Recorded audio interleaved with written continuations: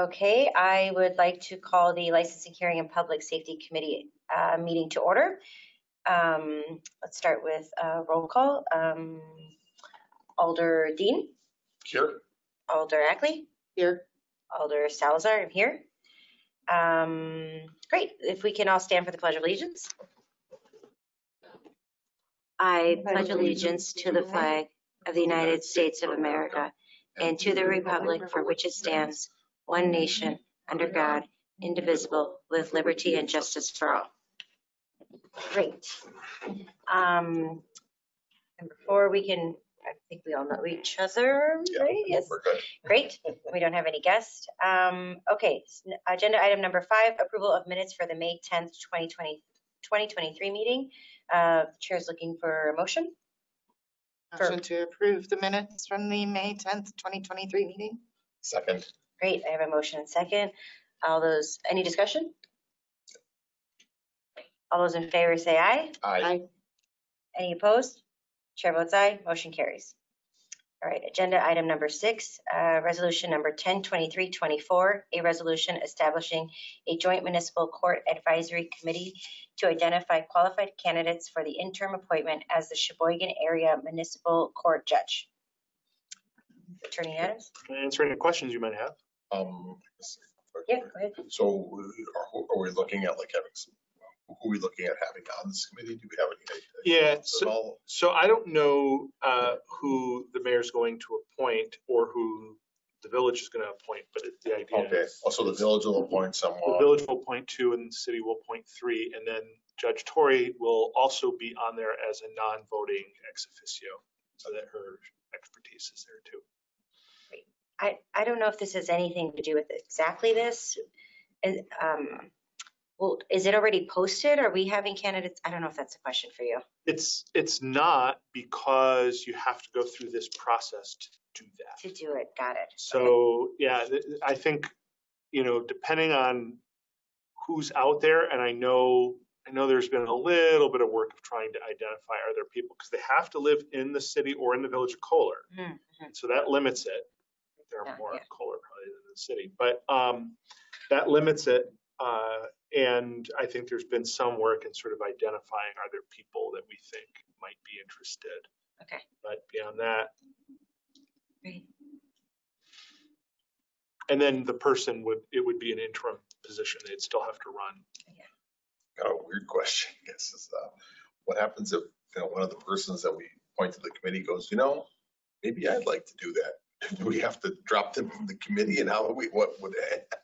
Oh, I mean, Yeah, I- that would be, that would be problematic because basically they would be, I mean, technically they're not the one appointing themselves because it's the city and the village that Sure. the person, but that's, that's a little bit problematic. I assume that Brian would do some vetting of Yeah. that before appointing Yeah. people to the committee. Or to the, yeah, to the committee. Great. Okay, so we're just looking for a motion of approval, correct? Yes. Great, I move to approve the resolution. Second. great. We have a motion and second. Any other discussion? Great. All those in favor say aye. Aye. Any opposed? Great, chair votes aye, motion carries. Uh, Agenda item number seven, uh, general ordinance number uh, 32324, an ordinance adopting, enacting, and republishing the code, the code for the Code of Ordinance of Sheboygan, Wisconsin, providing for the repeal of certain ordinance not including there within, therein, providing a penalty for the violation thereof, providing the matter of amending such code and providing such code and this ordinance shall become effective. Again, I can answer any questions. I Did you read the whole thing? Sure, I read every, every word. I was like, wow, it's not done. Lucky we have 1,600 pages. Maybe a reason it took three years. Is this something that has to be done like on a regular? Yeah, every so often. Okay, Yeah, so the last time it was done was 1998. The work actually Oh. started in 96. Isn't that Um, wild? And then before that, it was 75. Before that, it was 65. Okay. Prior to 65, it was about every 10 years. We don't need to do it quite so often anymore. And it'll be interesting to see I mean, I won't be around the next time it has to be done, but I have a feeling it may even take longer just because with everything being online, it's a little more flexible.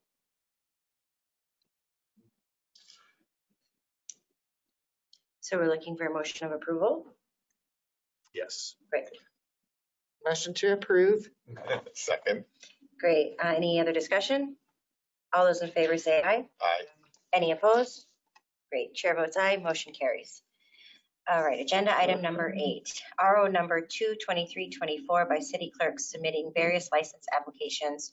Renew all license applications held at the, at the May 10th, 2023 um, licensing hearing public safety meeting. It's review, but yeah. um, Oh, review, sorry.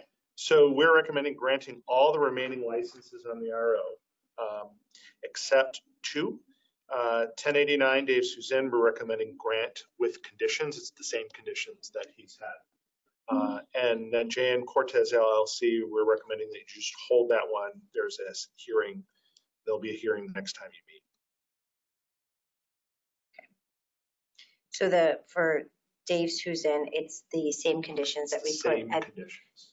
I don't know, was that a year ago? A year ago, it was a little over a year ago, and then when he renewed, he had to have those conditions, so. Okay. Um, and I'm assuming the, the committee reviewed that and these will continue for a while. Yeah. Okay. And then the hearing, I think we just approved at the council meeting. Okay. It's Yeah. re- really, it would have been something other than a non-renewal hearing. It's just the time frame. It needed to be a non-renewal rather than a suspension hearing. Okay. So, Any other discussion? Great. Okay. Um, Chair will entertain a motion. Sure. Uh, I recommend, um, uh, granting all the ROs, uh, all the licenses on this RO except the, uh, Dave Susan will, will be with conditions and the, the, and holding the J and Cortez. Second. Great. Any other discussion? All those in favor say aye. Aye. Any opposed? Great, chair votes aye, motion carries. Okay, agenda item number eight, RO number 62324 by city clerk submitting various license applications. So we're also recommending granting all of the licenses on this RO except as follows. Family Dollar of Wisconsin, we're recommending a grant with a warning. Uh, That's because they sold cigarettes to minors during the past year. Fast Fill Inc., granting with a warning, same reason. Uh, SSS Wisconsin LLC, there are actually two applications, and they were just simply mislabeled on the RO as uh, class um, uh, Class A liquor, and they're meant to be Class A beer and cider. Uh, So that with that change, and then Walmart stores, grant with warning, they also sold cigarettes to uh, minors. So, and I think you'll see one or two more in the next RO like that too. There were five that got caught. Um, Any discussion? No. And then I would just note, there's a, usually I put all the contingencies on, but it's really not, I do that more for your information. It's not necessary. You're going to be granting a lot of licenses on this RO that have contingencies on them, but you can just grant them. It's just that they won't be able to issue them immediately. And contingencies, meaning that they miss, They have to do, like, they, they, they're eligible for the license, right? So we Okay. would grant it, but we're not going to actually issue the license until they pay their taxes or Sure, they right. pay their various fees. They, some of them haven't paid for their amusement devices. Some of them, you know, there, there's a whole, so- some of them didn't have the right um, uh, seller's permit provided. You know, there's a lot of those little details that a lot of them had. It's, and those who have contingencies are identified, are um, notified. Yes, yeah, the clerk's office deals with all those.